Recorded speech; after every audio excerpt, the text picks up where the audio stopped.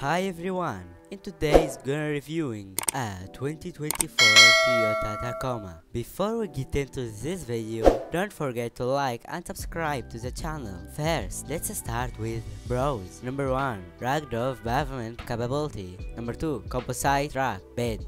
Has movable tie down cleats and a power outlet.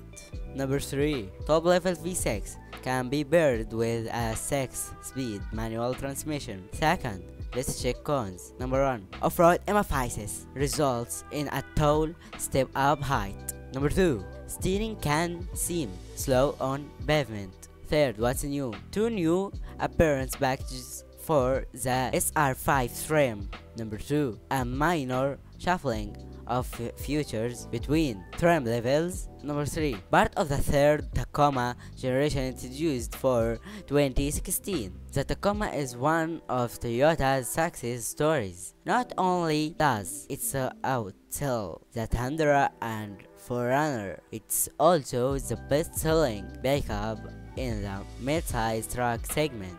Over the years, it has built a fiercely loyal following, and the Tacoma can be uniquely customized thanks for what seems like an infinite number of aftermarket products. This is tough truck with impressive off-road capability and the manageable size if you don't want a full-size truck. Finally, the prices. 2024 Toyota Tacoma costs from $28,000 to $50,000. Thank you guys for watching. Don't forget to like and subscribe to the channel. I very appreciate it. Bye.